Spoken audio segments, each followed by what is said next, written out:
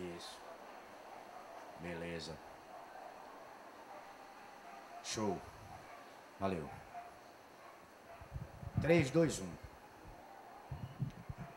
Maceió, 2h40 da tarde do dia 7 de setembro, 2009. Meu nome é Alexandre Leite, eu sou produtor do plantão, do plantão Alagoas. É, nunca fiz reportagem, eu trabalho na retaguarda, eu trabalho na, na produção, na direção. E resolvemos assim, resolveu fazer, resolvemos fazer essa matéria sem corte, que se caso a justiça precisar, vamos ter isso guardado. Eu tô com o Wendel, principal testemunha do caso Gil Bolinha, onde foi envolvido o nome de várias pessoas. O Wendel, que daqui a pouco ele vai dizer o nome completo, me procurou ontem, dia 6, muito nervoso, temendo pela sua vida. E conversando comigo, fizemos um acordo para ele gravar uma matéria. Até tentamos, mas o Wendel estava muito nervoso, com o Oscar de Mello, apresentador, mas o Wendel estava muito nervoso. Em seguida me procurou hoje. Esperamos o programa acabar. Estamos aqui na garagem, numa das garagens aqui da TV Alagoas. E o Wendel resolveu hoje, com mais calma, contar tudo o que ele sabe e o que ele pode falar.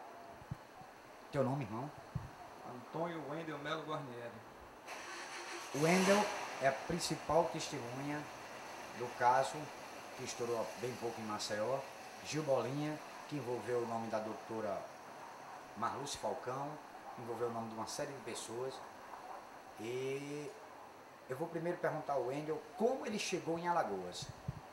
Eu cheguei em Alagoas por causa do serviço de proteção à testemunha em 27 de março de 2009. Wendel, é, estava no serviço de, proteção à testemunha e por que saiu?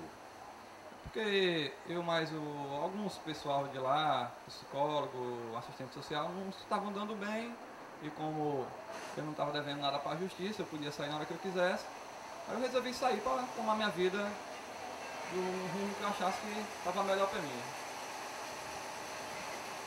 E daí, como é que você foi preso? Como é que você se envolveu com a polícia? Por que você foi preso?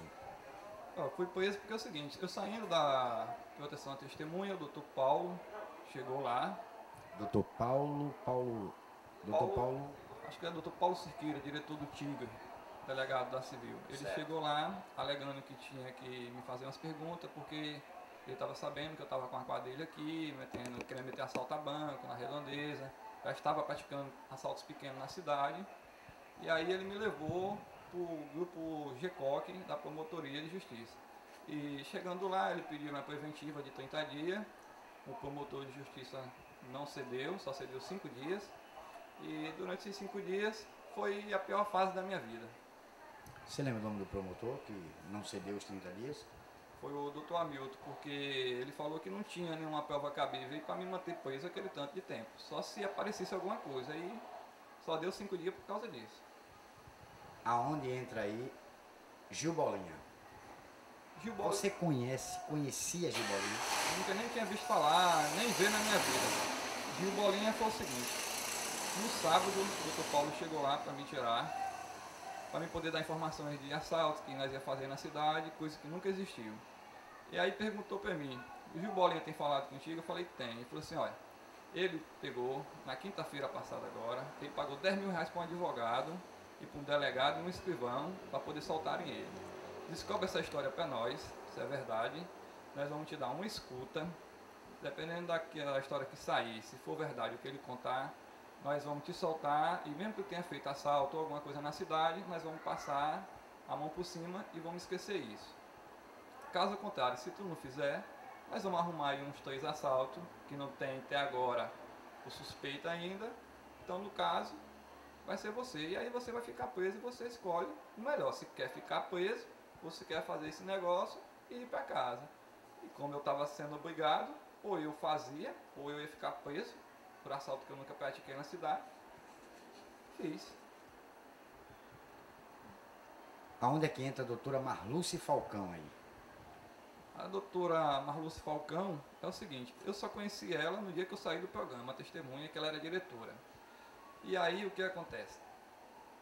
Ela pegou, né? Eu liguei para ela, perguntando pelas minhas familiares, se ela sabia. Ela disse que não sabia e só pediu para mim ter consciência, deitar, pensar bem, para mim não culpar, culpar, pessoas inocentes. Eu falei, tudo bem, doutora. Peguei e falei para o doutor Paulo, que tinha conversado com ela. O doutor Paulo pegou e falou, olha, ela é bandida, o marido dela é bandido, que é o advogado, que é o advogado do Rio Bolinha.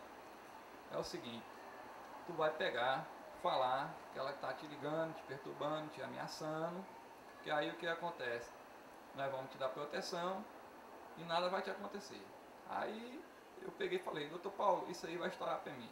Vai não, rapaz, não vai não, pode ficar sossegado. E eu com medo, né? Eu tanto não estava fazendo nada. Aí foi que ele pegou, fez uma declaração lá, minha, dizendo que eu tinha falado, que ela tinha me ligado, me ameaçado, fui para a promotoria, tive que dar esse depoimento de novo, dizendo que ela tinha me ameaçado. E, entanto, ela nunca esteve me ameaçando. E ele falou que se eu não derrubasse, do jeito que ele queria, a morte um advogado que teve na cidade,